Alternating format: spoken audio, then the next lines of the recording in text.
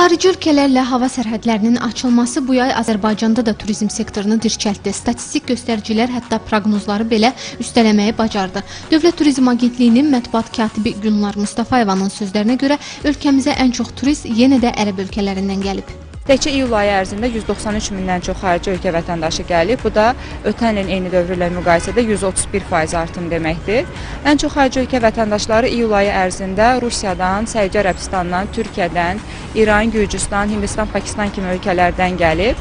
İl ərzində də eyni zamanda, yəni 7 ay ərzində də eyni zamanda ən çox aktivlik məhz bu ölkələrdən müşahidə olunub. İlk yerdə Rusiya dayanır, 220 mindən çox xarici ölkə vətəndaşı ilə.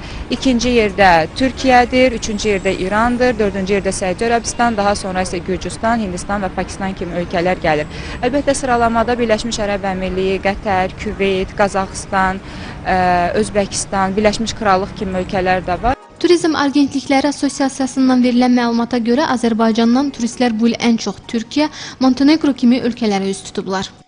Ümumiyyətlə götürəndə bu il ölkəmizdə getmə turizmi baxımından daha da müsbət tendensiya müşahidə olundu və ən çox turistlər Türkiyəyə, Monteneqroya, Misirə və Avropanın bir neçə ölkələrinə səyahət etdilər və Monteneqroya, Misirə getməkdə əsas məqsəd, yəni turistlərin bura getməyinin rahatçılığı ondan ibarət idi ki, bura charter reyslər var idi həmin ölkələrə və turistlər rahat şəkildə birbaşa uçuşlarla həmin ölkələrə səyahət edə bilirdilər. Daxili turizmə gəlincə isə Quba, Qusar, Şamaxı, İsmayılı rayonları yol baxımından şəhərə yaxın olduğu üçün daha çox üstünlük verilən bölgələrdən olub. Həmçinin Qəbələ, Oğuz, Şəki, Qax turizm rayonları da bu il rəqabəti qoruya biliblər. Gülnar İlqar qızı Fəzail Kamalov, Emin Əhmədli, Telesəhər.